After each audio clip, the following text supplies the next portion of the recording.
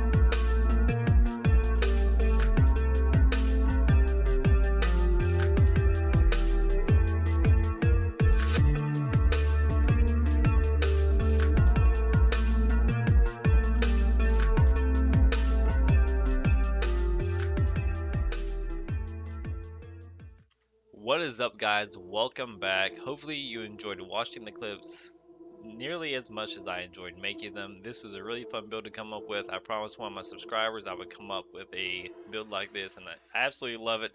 Let me preface this by saying guys, this is not like a super meta build. This is a very memey, very fun build. So let's get right into it fellas. So you see on the character sheet, we're not even going to go through any of this. I'm just going to blow through what is actually important. You do get up to 9,000 spell damage with continuous attack and Cyrodiil. It's pretty insane.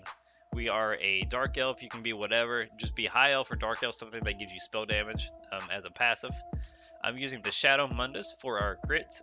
using uh, Bewitched Sugar Skulls. Ideally, you want the uh, the purple uh, stat foods. They'll give you a little bit more burst so let's go into the sets, fellas. How we're going to set this up. It is a little complicated, so I'll try my best to explain how everything works. So the very first ability we're using, or set we're using, is the Master's Perfected Inferno Staff.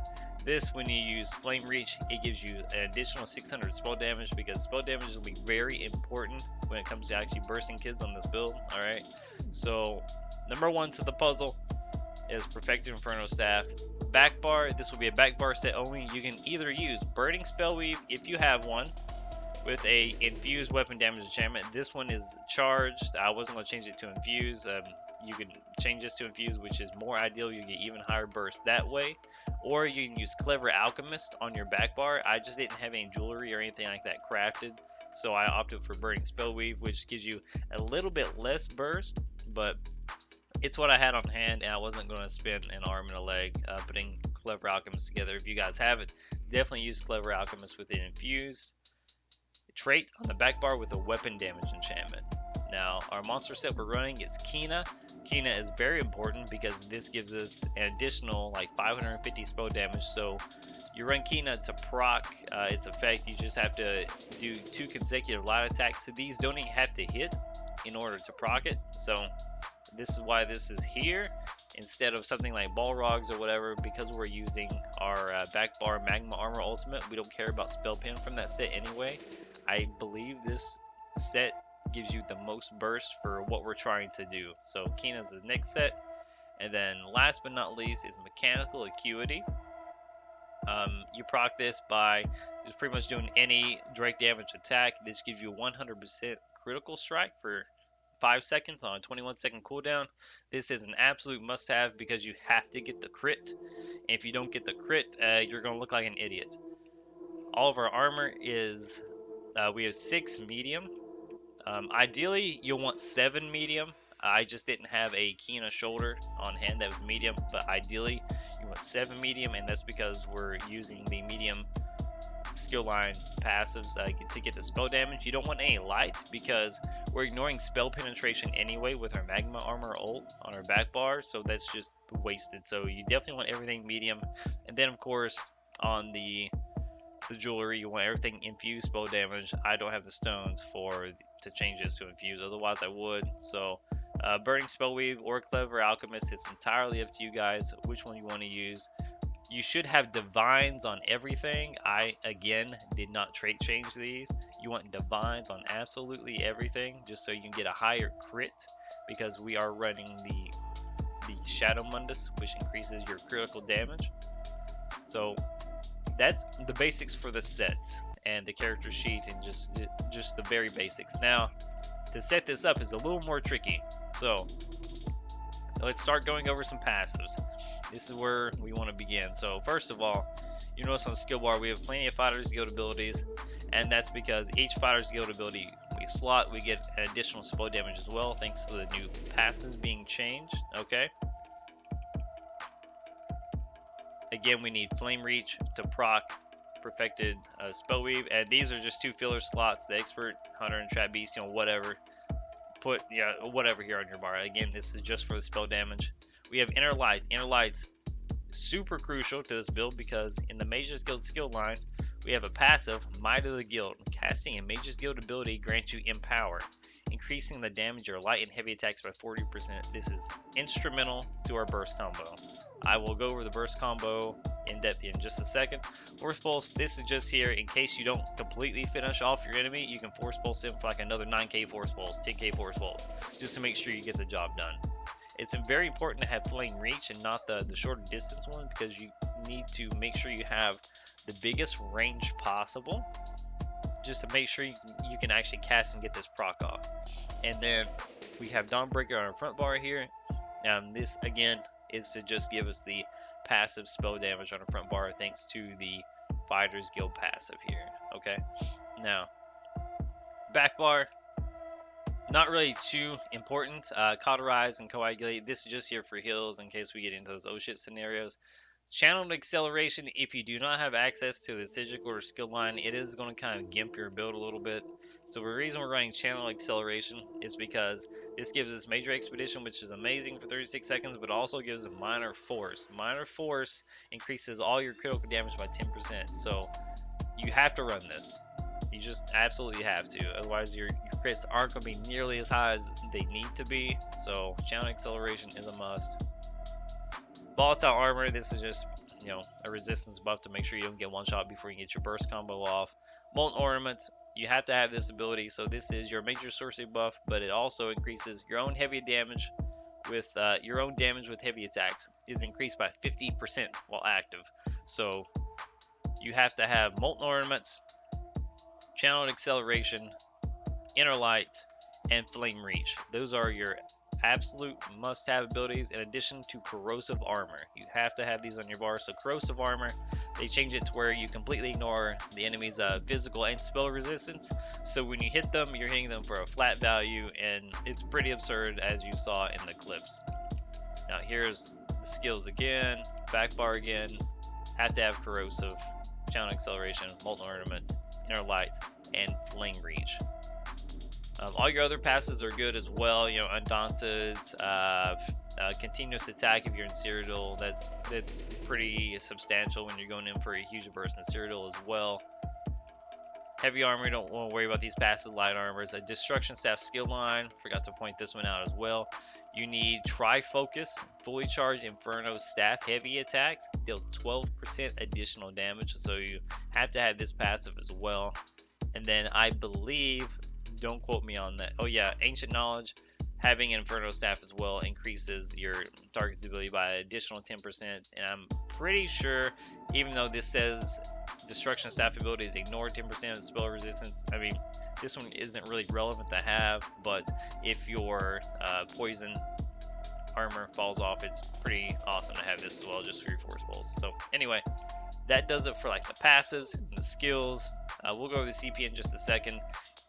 Potions, guys. You have to have immovable pots. You just have to have it. It takes like four seconds to get this combo off, and anyone and their mother is going to CC you, and time is a factor. It takes a second to proc all this, and you have like a one, maybe two second window to get a couple, you know, heavy attacks off. So it's very important that you have immovable pots as well. So when it comes to the actual combo itself, give me just one second. Let me run down here and get my ultimate. I should have done this before the video, guys. Very unprofessional, but it's actually not too hard of a combo. The trick is lining it up on someone. So as you guys know, heavy attacks in this game are like super, well, heavy Destro attacks are very like super wonky. Sometimes they just miss even though you're right on their target.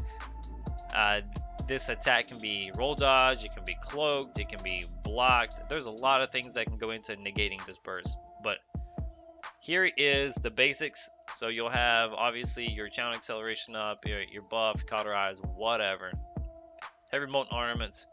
Pop corrosive armor, lie attack, lie attack, front bar, flame reach, hold down your heavy attack, and while it's in the air, you want to inner light.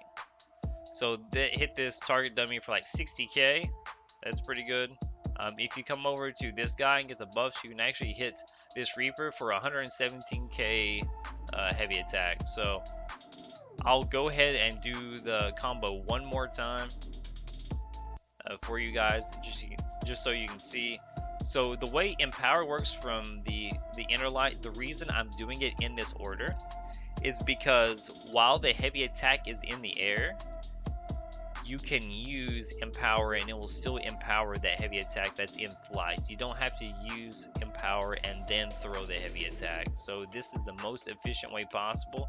I can get this to go off. So you can buff up obviously, pop corrosive, light attack, light attack, front bar, flame reach, wind up a heavy attack, empower, animation cancel. And it's it's simple as that. I'll show you again the heavy attack.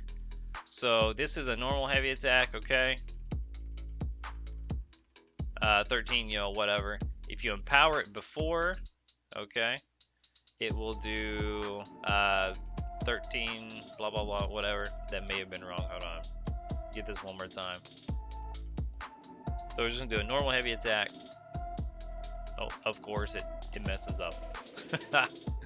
so normal heavy attack is doing uh, 13,000 uh, damage, right? So if you empower heavy attack, it should do a little bit more. It's not doing more. I'm not sure why, guys. It's also really trying to screw me over. So I believe what's going on is that this three seconds you get from using it. So if you go to the major skill skill line, this is also why we use inner light dead last. Is because you can get this heavy attack off with empower, but this only lasts for three seconds. So by the time you finish your cast animation for Empower, okay, and wind up your heavy attack and it launches, this is already fallen off. So you need to use Empower, uh, your, your inner light, excuse me, at the latest point possible in your burst. So if it's in flight, just boom, Empower, there you go. So that does it for the, the combo. Now we'll go over into our CP tree show you guys what I'm rocking. Red tree really doesn't matter. Blue tree is a bread and butter. So you want master-at-arms, you want deadly aim, you want fighting finesse, and then you want weapons expert. That's going to give you the most overall damage for your heavy attacks by far. So as long as you have those four passes, you're to be hitting like a freight train. Uh, the red and the green tree, mm, that really doesn't matter. That's all preference. That's not the point of the build. So yeah, um, hopefully I explained everything in this. We went over the potions, went over the skills, went over the burst combo, character sheet, kind of things to know, the passives. I believe that's all, guys. There may be more. If there is more, I will gladly redo this video and, and include it. But uh, as it stands, I believe that's the high points of the build. Hopefully you guys enjoyed it. It was really fun making it. I, I really had a good time. Uh, it was kind of frustrating sometimes to uh, actually hit people with this ability without getting completely trained, but uh, it was really fun. If you guys want to see more build videos like this, please let me know down in the comments. And as always, guys, please like and sub to the channel, but only do so if you enjoy the content. Only 72, well, actually 72% of you guys are not currently subscribed. So if you could do me a favor, please subscribe. Helps me out, helps the channel a lot, helps keep me motivated and I will catch you guys in the next one. Peace.